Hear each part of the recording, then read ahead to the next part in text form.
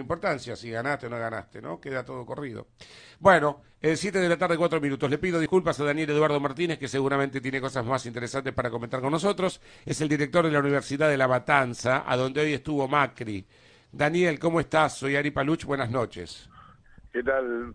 Muy buenas tardes, Ari. Y bueno, eh, encantado de poder compartir este momento con ustedes. Por favor. Bueno, eh, ¿hace cuánto que sos el rector, ni más ni menos, de la eh, Universidad Nacional de La Matanza? Hace el año 2001, o sea, vendría a ser una especie de, rector más antiguo que hay, nada. Este, hay otro más que yo, pero bueno, son bastantes años que estoy ejerciendo de rector, pero bueno, un cargo que a mí me, me entusiasma, me gusta y luego con mucho gusto. Y pudiste, independientemente, porque del 2001 para acá hubo unos vaivenes políticos impresionantes, independientemente o más allá de estos cambios, pudiste seguir a cargo en la universidad y pudiste prescindir de las presiones políticas. Y bueno, eh, una de las cosas que tiene la autonomía universitaria es la posibilidad de defenderse que tiene la universidad frente a contingencias externas. La verdad que en determinada época este, no la pasé bien. Te puedo asegurar que no me lo pasé bien y nada, ya pasó y empezamos otra etapa y hay que mirar para adelante. Ajá, eh, no lo pasaste bien porque había quienes querían que, se, que te alinearas, digamos. Exactamente, exactamente. O sea, hay que, este, hay determinadas cosas donde uno, mira, una de las cosas que uno aprende en la universidad es a respetar el disenso, a respetar que el otro puede pensar distinto de nosotros. Y el hecho de que respetar que el otro piense distinto es la base de la república, es la base de la democracia. bueno, por eso estamos eh, con los problemas que estamos hoy, nos está costando, ¿no? Esto de los eh, monólogos paralelos que no significan un diálogo es cotidiano, ¿no? Sí, sí, lamentablemente la gente a veces, eh, los comentarios que surgen parece que es amigo o enemigo y entiendo que no tiene que ser así. Y en el día de hoy, ¿por qué razón fue Macri a la universidad? Contanos. Bueno, el, día de hoy vino Macri a inaugurar un polo tecnológico. Es el primer polo tecnológico de la industria del software que eh, se, se, inaugura en, una universidad pública y tiene por fin mezclar o juntar a los empresarios vinculados a la industria del software, a la universidad, a, a los profesores y a los estudiantes que van a trabajar en función de las necesidades que fijen los empresarios. O sea, el, el la industria del software genera eh, eh, o, requiere mucha solución de problemas a, muchos temas vinculados a de tecnología. Entonces, en vez de desplazarse hacia una empresa, hacia una fábrica, van a poder trabajar en la universidad, cobrar un sueldo y en el caso que la solución este, sea única en el mercado, o sea, sea una solución nueva, encima van a cobrar un adicional por esta esta nueva solución que se está aplicando. La Universidad Nacional de La Matanza es eh, eh, una universidad nacional, o sea, si yo quiero estudiar, este, no pago, es una universidad pública y gratuita. Eh, la, Universidad de La Matanza es una universidad pública, gratuita, y que en la actividad cuenta con más de 60 carreras de grado y posgrado y concurren más de 55 mil estudiantes. Es la novena universidad del país en, en, en tamaño de estudiantes, ¿no? Es correcto. ¿Y em, tienen un sistema de ingreso como, por ejemplo, la UBA con el ciclo básico? ¿Cómo se hace? Yo termino el colegio secundario, por ejemplo, y quiero estudiar en la Universidad Nacional de La Matanza. Es, muy buena pregunta. Yo siempre hago muy buenas preguntas, ¿no? Un gran periodista. yo. Decime, Dani, a ver cómo es el ingreso. Este, el tema, sí. El, el, el, CBC o ciclo básico, cuando tiene la UBA, tiene de un año.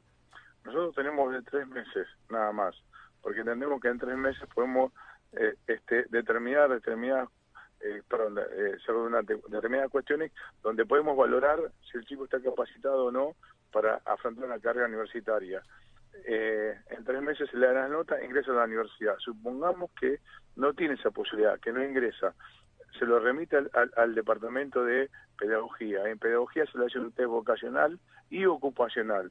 Y le dice si eligió bien la carrera, si no eligió bien la carrera, si tiene que cambiar universidad y durante un año se lo va siguiendo en esta nueva este, posibilidad que se da de, a lo mejor de afrontar una carrera distinta. ¿Y ustedes qué nivel de deserción tienen comparado con otras facultades? Por cada 100 chicos que van a entrar, Dios mediante, a cursar en el 2018, ¿cuál es la tendencia? ¿Cuántos se van a recibir? Eh, bueno, este, Bueno, ratifica lo anterior. Una- Es una que buena yo soy un pregunta. gran periodista. que hace- En realidad me, la- me, la- me las escriben a mí las Yo preguntas. por te, eso. te- lo digo de esta Muchas gracias, forma, Daniel. A ver. Que, que, que- que, eh, el sistema público de cada 100 chicos que ingresan se reciben 22. Solo, o sea, el sistema público es eso. De 100, Sí. 22. El, ¿Qué, siste- qué- qué el sigue? sistema, el sistema privado Sí. de cada 100 chicos que ingresan se recibe 37. Ujú. En nuestra universidad de cada 100 chicos que ingresan se reciben 55. Ah, bueno, muy bien. Mucho más, ¿A pero qué- no porque sí. sea fácil. ¿A no qué lo atribuís? ¿A qué lo atribuís? Tenemos un sistema de, de tutorías que, que vamos siguiendo a los chicos que a lo mejor tienen más dificultades. Tenemos docentes que dan clases de apoyo. Te- te- tenemos este, a- asistencia académica en determinados puntos que entendemos que son vulnerables. O sea, si, si lo miramos desde el punto de vista eh, que a lo mejor puedo utilizar una palabra que a veces se utiliza en el ámbito profesional de los psicólogos, tratamos de ser una universidad de contención.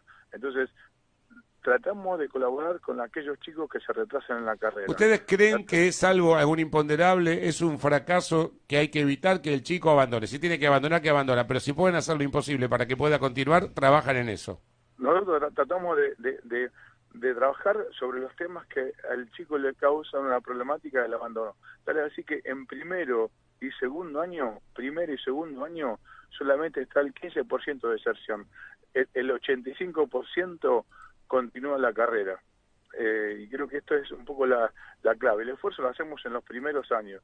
Después ya el chico hacia adelante se van causando solo.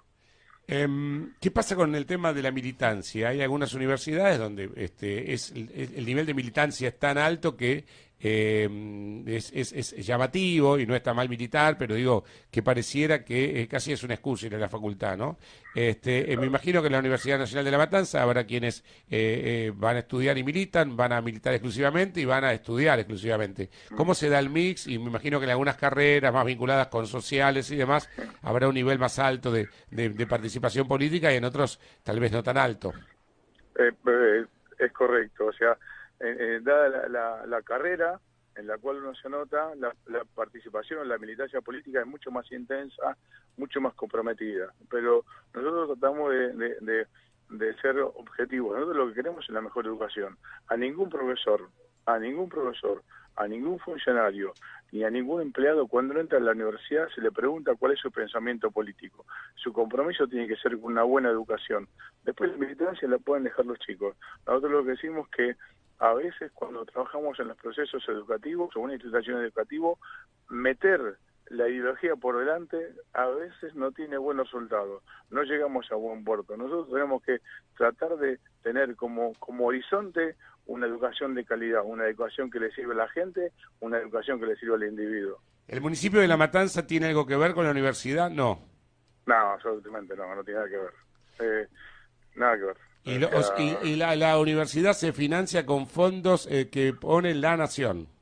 eh, la, la uni- la universidad se, se financia con los fondos que eh, a cada a cada fin de año el Congreso determina para cada universidad. Vos dijiste en el día de hoy que podrían tener 750 empleados, pero tienen 500 y con ese ahorro están haciendo cosas como las que hicieron hoy, por ejemplo, con Macri. Por supuesto, o sea, este nosotros podemos tener 750 empleados, tenemos 200, 200 eh, 550, perdón, Sí, entonces 550. 200 empleados menos y eso nos ayuda a, a- a juntar fondos para poder, por ejemplo, construir es- este este polo tecnológico eh, que lo ha hecho la, la universidad sin sin necesidad requerida de otras fuentes. Y bueno, ¿Cuántas sedes tratamos- tiene la universidad? Porque tener 60 carreras. ¿Cuántos, do- ¿Cuántos docentes hay en total? Eh, en docentes en total hay aproximadamente alrededor de 3.000 3.800 docentes. Vos es que yo no tenés por qué conocer a todos los... Este, Bueno, entonces tenés 3.800 docentes, 550 empleados y un presupuesto 2017 de cuántos millones de pesos tuvo la universidad. El, el- a ver, eh, el- estoy confundido con el presupuesto de este año. Sí, pero más o eh, menos. eh, eh, alrededor de 1.370 millones de pesos. ¿Me repetís cuánto? 1.370 ¿Mil? ¿Mil cuánto? 1.370 millones de pesos. ¿Y cuántos egresados por año aproximadamente? Este, este año cuántos van a egresar en total? Eh, la verdad que, bueno, está buena la pregunta que no tengo respuesta. Está bien, Eh, está bien. no, no lo, no lo- no lo tengo presente porque eh, tendría que hacer la sumatoria y nosotros... Está bien, igual me dijiste que tienen 55 mil alumnos, así que... Sí, más de 55 mil alumnos y más de 60 carreras de grado. ¿Y, me dijiste cuántas sedes? Disculpame que no te escuché. No, las sedes tenemos una que está en, La Matanza y tenemos otra sede que está en, Capital, que ahí es donde generalmente se dictan casi todos los posgrados. Está bien. Bueno, yo quiero mencionar esto porque alguna vez lo hablé con Alberto Pierri, Nobleza Obliga, es el dueño de esta radio y él fue en su momento una persona que hizo un gran aporte para su universidad y me parece que no me gusta chuparle las medias a nadie, pero lo que corresponde, corresponde, por eso lo digo. Fue el, fue a ver, fue, el principal aporte y, te digo por qué. El 29 de septiembre de 1989, él fue el que eh, presentó el proyecto de ley y digamos, este, lo empujó en la cámara para, para que para que pueda salir. Y eso es la realidad que muchos chicos que a lo mejor no podían venir a estudiar a Capital y que eh, tardaban entre dos y tres horas de viaje, hoy pueden estudiar. Si esa universidad no estuviera, hoy no podrían estar estudiando. Te mando un gran abrazo, Daniel, que funcione bien este pueblo que han inaugurado hoy y que por muchos años más puedan dar educación de excelencia. Muy amable. ¿eh? Muchas gracias, muchas gracias a este tiempo de poder explicar a la, a la sociedad cuáles son las cosas que estamos haciendo en nuestra universidad. Un millón de gracias. Adiós, querido. Daniel Eduardo Martínez, rector de la Universidad de La Matanza.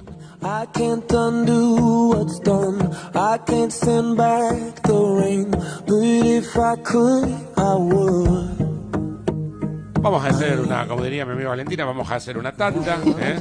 A la vuelta de qué va a hablar. Del famoso me gusta que puso Neymar, una foto. ¿De quién? Muy bien. No me hables de fútbol, dicen los italianos, que estamos afuera de la Copa del Mundo. Andrea, antes de la tanda, dos mensajes. Pablo dice en arroba exprimidores, soy egresado de la Universidad de La Matanza. Excelente institución y forman profesionales de calidad. Qué bueno, qué bueno. Y one more. Otra egresada de la Universidad de La Matanza, orgullosa de la institución y su rector Daniel Martínez, mi reconocimiento a la institución y cuerpos académicos y docentes impecables. Soy egresada 2014, contadora pública, Noelia. Muy bien, y con qué orgullo que hablan de su facultad. ¿eh? Bueno, eh, hoy fue uno de los episodios que más eh, nos conmovió, la carta de despedida de la mamá de Abril Bogado. Te quedó tanto camino por recorrer, dice una parte de la misiva Laura, la mamá de Abril, la chica de 12 años que murió cuando hace nueve días...